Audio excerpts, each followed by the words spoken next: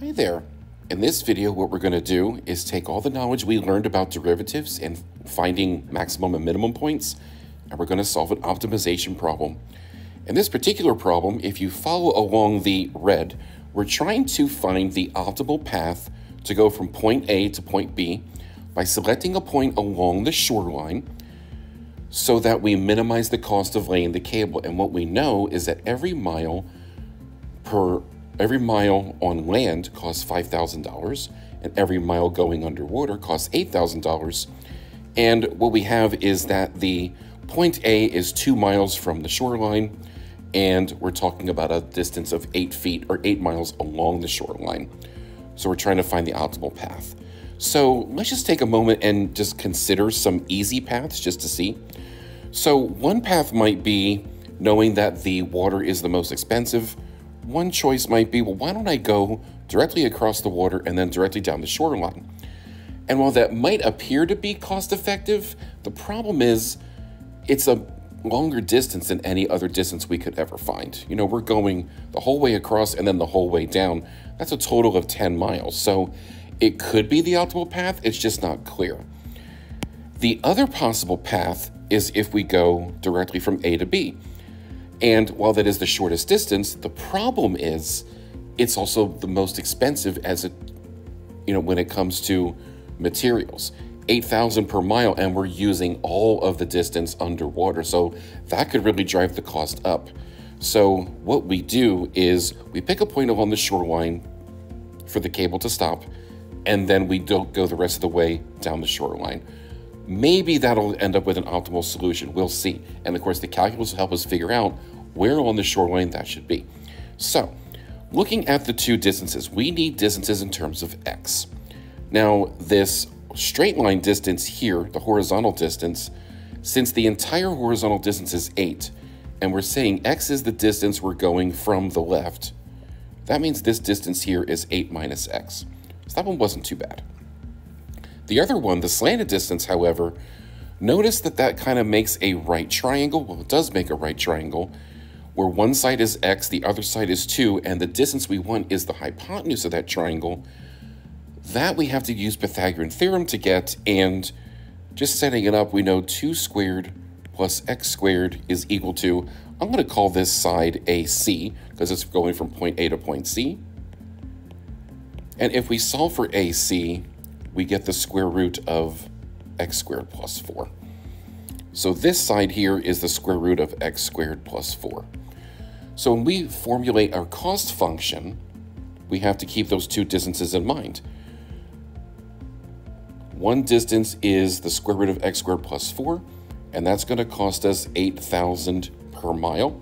So the total cost of that piece is 8,000 times the square root of x squared plus 4. The other piece is going to cost us 5,000 per mile, and we're going 8 minus x miles. There's our cost function. So now, here's an added bonus.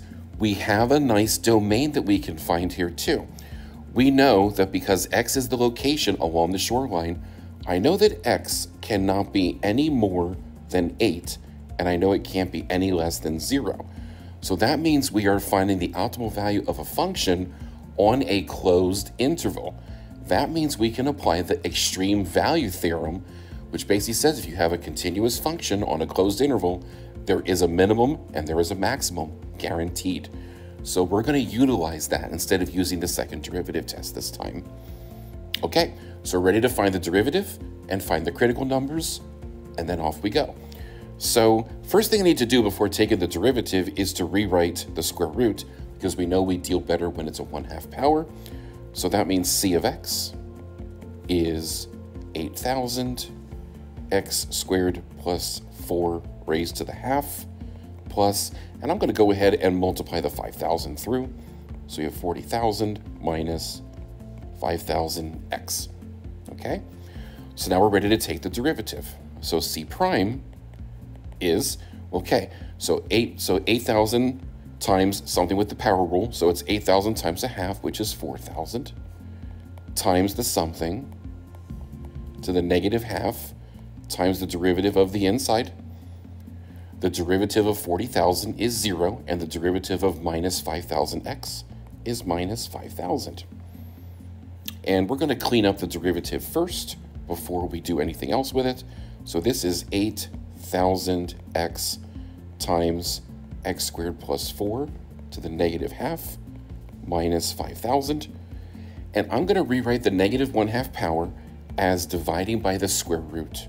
Remember that would be over the 1 half power, and then a 1 half power means square root.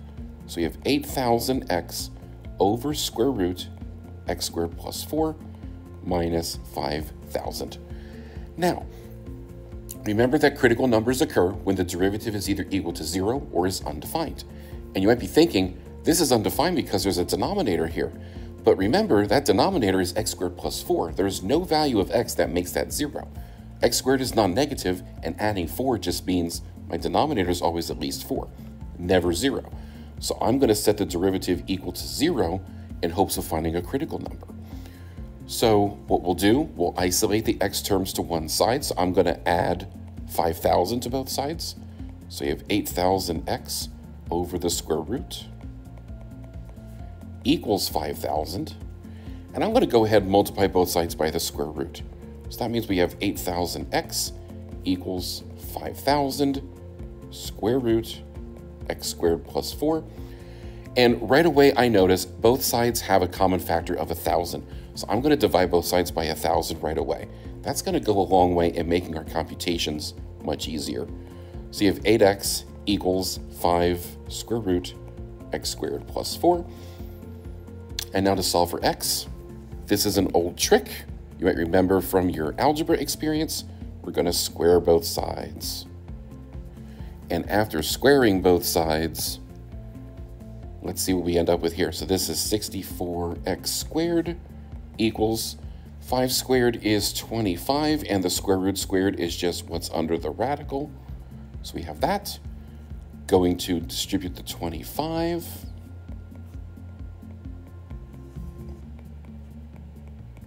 And then subtract 25x squared from both sides. That means we have 39x squared equals 100, which means x squared is equal to 100 over 39. Kind of a weird number there. So that means x is equal to, now normally it's plus and minus, but we know in this problem, we're only dealing with positives. x is a distance. So it's the square root of 100 over 39, which oddly enough is just very close to 1.6. So that number is on our interval, so it does need to be checked. So we substitute 1.6 into the cost function. We substitute 0 and 8 because those were the endpoints. And here is the analysis. So when x equals 0, meaning we're going straight across the river and then 8 miles down, the total cost is $56,000. At 1.6, the total cost is $52,490. And at 8, that, and that would be corresponding to going directly across the river from point A to point B, the slanted distance. It turns out that is the most costly. It's almost $66,000. So the minimum cost occurs when x is equal to 1.6 and a minimum cost of 52,490.